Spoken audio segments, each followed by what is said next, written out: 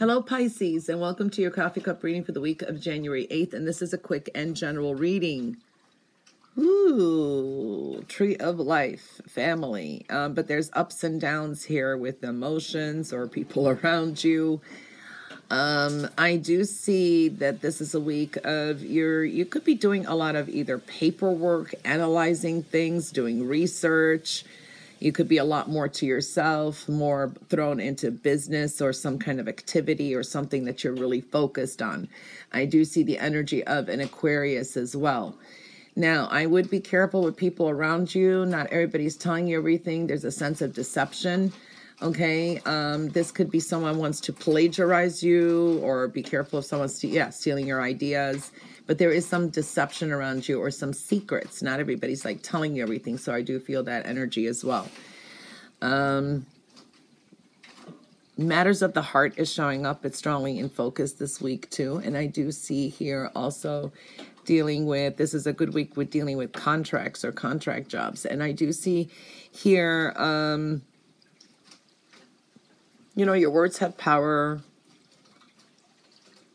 there could be some critics around you as well. But I think you're going to be putting things, in, you're going to be seeing things in a different light. You could have some fun with someone who's close to you too. This could be a good friendship or a good friend around you as well. So I do feel that um, energy here. Okay.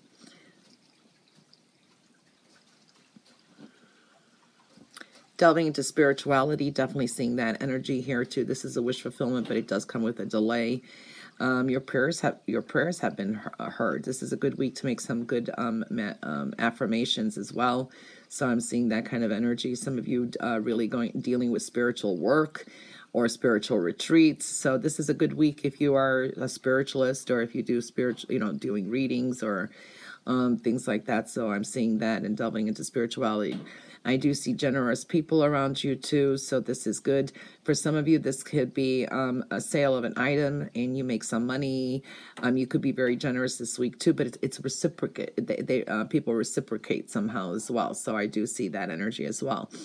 Um, keep it going is what I'm seeing here. It balances out for some of you. There is some decisions to make. Okay, so it's like money worries, or you're worried about where you're investing your time, money, and energy in. I do see a lot of thoughts of the future, a lot of options. You could be also fantasizing or idealizing some things as well. So I do see that, but this is something that you've been hoping for in a while. Um, will come to fruition, but it's going to take um, maybe give something about a couple months is what I'm feeling here. A lot of thoughts of the future here and daydreaming. So this is good because this can strike some kind of um, I don't know. It's a wish fulfillment. You're drawing energy in. So I do see that. Pick and choose wisely is what I'm seeing too. I wouldn't make any choices and decisions right now because I do see you have a lot of options before you.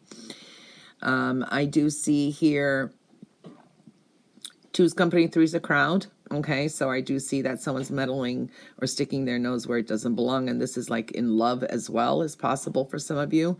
Some of you may be hearing from an ex, but you're coming to an end. You're you really want to kind of set yourself free. I don't think you really want to intrigue this. I do see um, change in direction with work and career, um, even with home. There is some energy here too.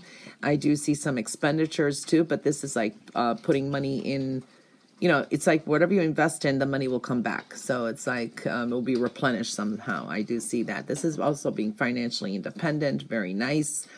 Um, I do see very nurturing, giving um, energy. There's a focus on taking care of home and family and uh, family needs. So we're seeing that energy at the same time taking care of yourself. You're emotionally like invested in it.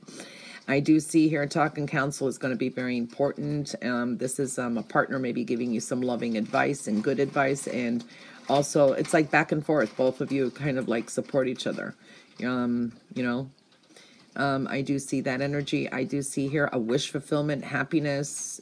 This could be also indulging so keep things in moderation um, financial stability definitely is coming up and you mastered something. You've learned something in a relationship or connected to love and now it's like there's a strength to it. It's like building up a strength or these are lessons that you, in, your, in your next relationship or something that you will always take with you you know, don't worry about difficult times. You're going to be taken care of. I do see someone from the distance. This is someone you haven't seen for a while or lives in a distance. Um, you're on, uh, they're thinking about you.